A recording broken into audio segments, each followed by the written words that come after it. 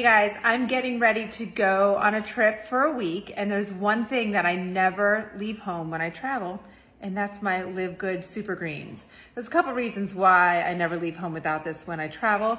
Is uh, first off, we're not consuming enough greens when we travel, and typically it's because um, they're not available to us, or also I choose not to consume as much because I can rarely find organic um, when we travel or eat out.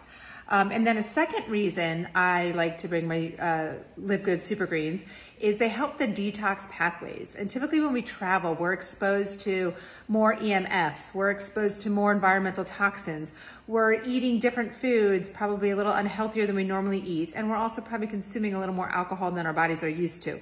So I always make sure to have this with me on hand. And typically I'll use it two to three times a day um, when I travel. So Live Good Super Greens, this stuff is awesome.